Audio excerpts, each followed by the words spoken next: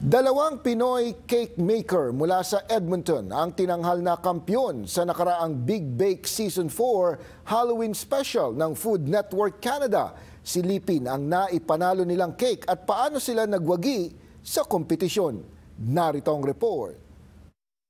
Mga likas ng baker at cake decorator ang mga Pilipino na sina Raymond Cortez at Marilu Credo na taga Edmonton. Kasama din nila sa kanilang grupo si Aura Morrison.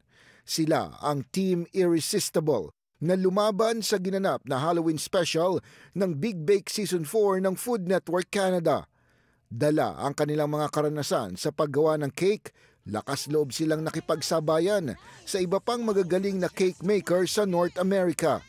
At sa pagtatapos ng limang oras na kompetisyon, angat na angat ang galing ni na Raymond, Marilu at Aura kaya't sila ang tinanghal na mga kampyon. Nakaka-proud po na syempre bilang Pilipino na mapasali ka sa international competition na nire-represent mo hindi lang Canada or Edmonton pero bilang Pilipino na may bubuga din yung Pilipino pagdating sa cake competition kasi usually nakikita natin yung mga boxing, mga ganon.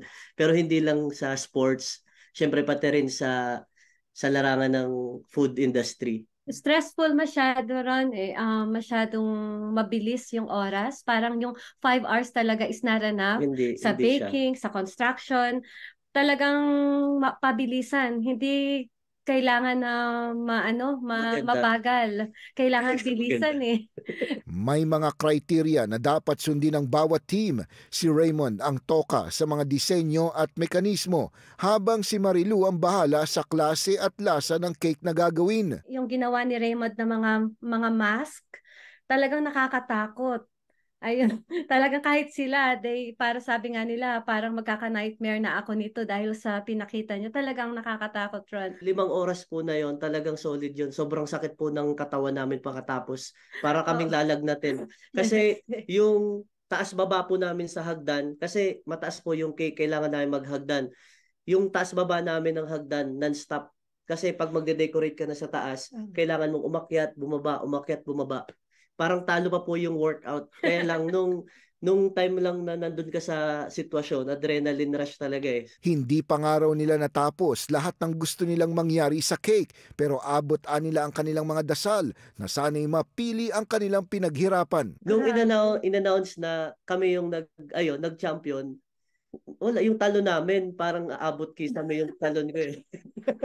Grabe yung talon. Kami lang ata sa lahat ng mga nanalo. First time daw nilang makita ng ano. ka-excite Oo. na nanalo. Nakita nila yung yung sobrang happiness namin to the point na talaga ang talon namin parang bata. Alam mo yung parang naka-receive ka ng malaking gift na parang kang bata sa pagtalon. Ikaw nga, niyakap mo pa si Aura eh. Uh, kami kasi iniisip namin, hindi naman kami taga dito sa lugar na to eh. Uh-uh. Parang hindi lang dito sa sa 'di ba sa foreign land na Canada galing kami ng Pilipinas. Parang iniisip namin malayo pa ang pinanggalingan namin bago makarating dito. At hindi lahat nabibigyan ng chance na makasali sa ganung klaseng competition. Mm-hmm. kung tutusin niya po kahit hindi kami manalo makasali lang doon malaking bagay na po sa amin yon kasi yung masama ka doon sa ganung competition nakaka-proud na po yun bilang Pilipino. Bibihira lamang daw ang ganitong mga pagkakataon na maipakita sa ibang lahi ang taglay na talento ng mga Pinoy. Pag may opportunity po at may nag- nag-send ulit sa amin ng invitation to go on a bigger competition,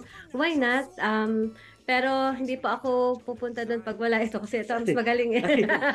Or ito ang ipapush natin kasi talagang ano, nakaka-proud yung talent and skills ni Raymond sa cake de- designing and cake decorating. So parang ano po kami, talagang team up. Kasi mas magaling po siya mag-bake. sa baking ako. Sa mas masarap po yung cake niya. Hindi naman. pare, pare, Hindi pare, pwedeng ano. Pag may dumating na opportunity, wag na mag-hesitate. Right away, just grab the opportunity. Kasi may minsan lang, you know, kumatik yung, kumatok yung opportunity. Pagka kumatok, sunggaban na kaagad. Kasi pagka pinalagpas pang isang oportunidad, hindi natin alam kung kailan pa yun darating. Sana daw ay maging inspirasyon ang kanilang panalo sa iba pang baker na Pilipino at naway marami pang mga kababayan ang mabigyan ng pagkakataon na maipakita ang tunay na galing at talento dito sa Canada.